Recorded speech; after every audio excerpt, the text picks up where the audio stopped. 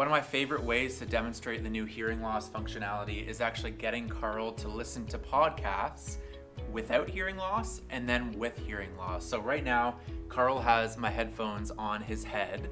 Um, I'm gonna start a podcast just through my headphones here. I will click play and there we go. He's he's listening to his podcast right now. So now on the Carl software, all I have to do is record through no hearing loss. I'm gonna record for 10 seconds. As I record it, he's gonna be listening to both the podcast as well as what I'm saying right now.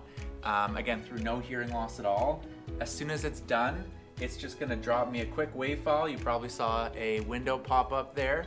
That's what that is. So I have file number one for Carl listening to a podcast without hearing loss. Next, we wanna see what that sounds like with hearing loss. So I'm gonna pick an audiogram. It'll just be a random one here.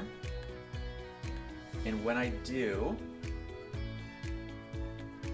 same thing, I'm just gonna click record. So now Carl is listening to the same podcast continuing, but through the hearing loss that I chose.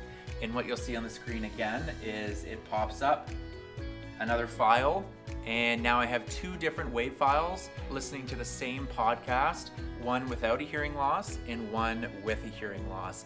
And why I choose a podcast is because it is a lot of speech, it's a lot of conversation, and it's not only is this loud enough, can I hear it, but can I actually follow the conversation?